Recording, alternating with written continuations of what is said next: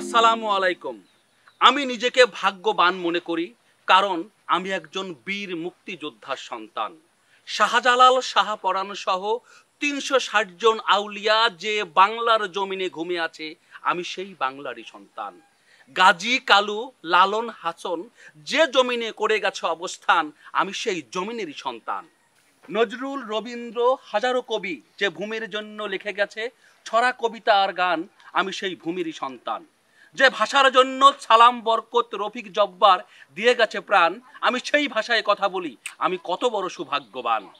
যে মাটিকে মুক্ত করতে তিরিশ লক্ষ বীর বাঙালি দিয়ে গেছে প্রাণ, দুই লক্ষ মা বোন হারিয়েছে সম্মান। আমি সেই মুক্ত মাটিরই সন্তান।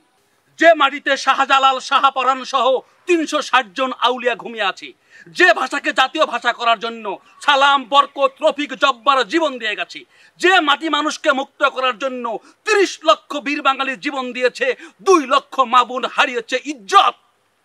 যে মাটি মানুষকে মুক্ত করার জন্য এত কিছু করা হয়েছে, সেই মুক্ত মাটিতেই একজন নবজাত শিশু জন্মগ্রহণ করার সঙ্গে সঙ্গেই কেন তার শাস্তি হবে? মৃত্যুদণ্ড।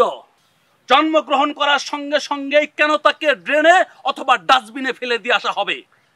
দশ মাস দশ দিন গর্ভে ধারণ করার পর সেই গর্ভধারণী মা নিজের সন্তানকে পাঁচতলা থেকে ফেলে দিয়ে কেন তাকে হত্যা করবে?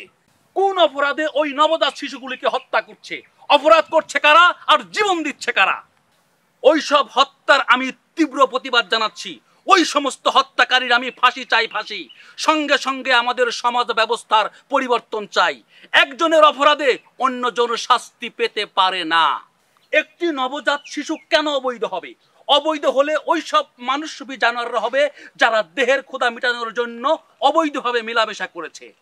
যে জন্মদাতা জন্ম দিয়ে গর্ভধারণী গর্বে রেখে নিজের সন্তানের পরিচয় দেওয়ার ক্ষমতা রাখে না, সেই জন্মদাতা এবং গর্ভধারণী তাদের এই পৃথিবীতে বেঁচে থাকার কোনো অধিকার নেই। হত্যা করা হোক ওই সব জন্মদাতা এবং গর্ভধারণীদের, আর অধিকার দেওয়া হোক ওই সব নবজাতকের, তারা যেন সমাজের আরও দশজন শিশুর মতো মাথা উঁচু করে বাঁচতে পারে।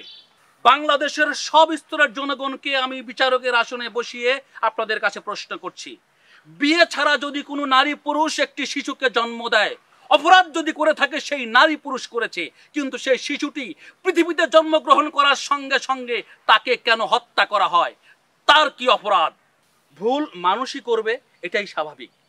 আবেগে হোক, দেহের চাহিদা মেটানোর জন্যই হোক, যেসব নারী পুরুষ অবৈধ সন্তান জন্ম দিয়েছেন, তাদের কাছে আমি হাত জোর করে অনুরোধ করছি, সমাজ সংসারে মাথা উঁচু করে বাঁচার জন্য ওই সব নবজাতককে আপনারা হত্যা করবেন না। সমাজ সংসারের কথা চিন্তা না করে ওদেরকে স্বীকৃতি দিয়ে ওদের বাঁচতে দিন। একবার চিন্তা করে দেখুন তো, ওদের বাঁচতে দিলে সমাজ সংসারের মানুষ আপনাদের অল্প কিছুদিন খারাপ বলবে। আর সমাজ সংসারের কথা চিন্তা করে যদি ওদেরকে হত্যা করেন, সারাটি জীবন আপনার বিবেকের কাছে আপনি অপরাধী হয়ে থাকবেন। ভালো থাকবেন, ভালো রাখবেন। আবার আপনাদের সামনে হাজির হব নতুন কোনো বিষয় নিয়ে। আল্লাহ হাফেজ।